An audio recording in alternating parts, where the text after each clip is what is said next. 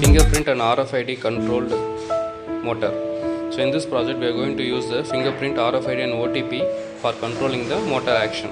So the project component consists of Arduino Uno, GSM modem, touch keypad, RFID reader,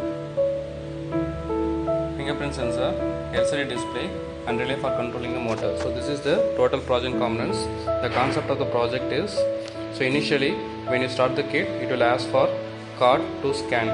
So when you scan the card if it matches the existing saved card number uh, then it will find whether it is owner or user so depending on that it will if it is owner it will uh, ask for fingerprint identification and you have to place the finger and if both matches it will automatically start the motor so and if you are user also so if the user fingerprint and user card matches it will also start the motor.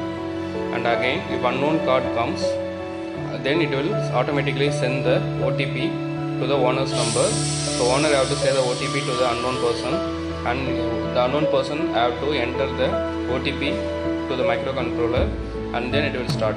If everything matches then the system will work normally. If something not doesn't matches it will automatically alert by using the buzzer and the motor will not start for the operation. So this is how the entire project works. This is the project.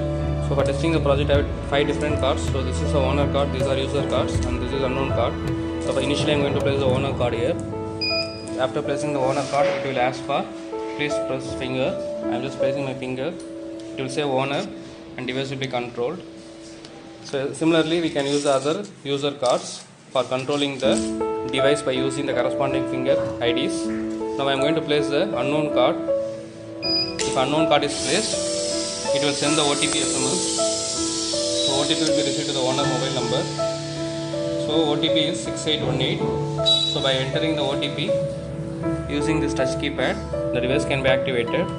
6 8 1 8 681 so OTP matched and device is turned on and now the system is activated. So by using the OTP functionality the unknown person can also access the device by sharing the OTP number from the owner's number.